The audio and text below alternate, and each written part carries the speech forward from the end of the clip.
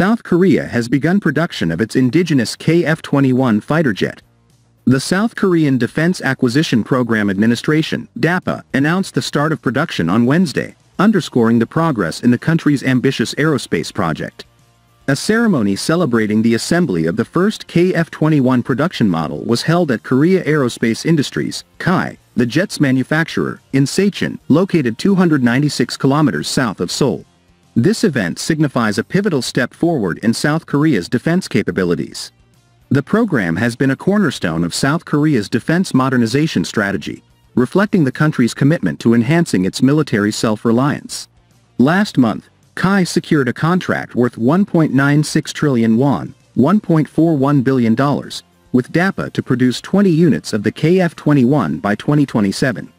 The long-term goal is to expand this fleet to 120 units by 2032. The KF-21, also known as the Boramae, is expected to bolster the South Korean Air Force's capabilities with its advanced technology and superior performance.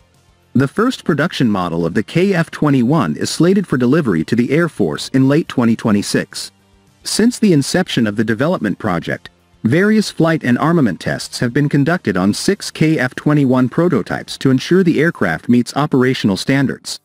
The KF-21 is envisioned to play a critical role in South Korea's defense posture, providing a modern, indigenously developed alternative to the aging jets currently in service.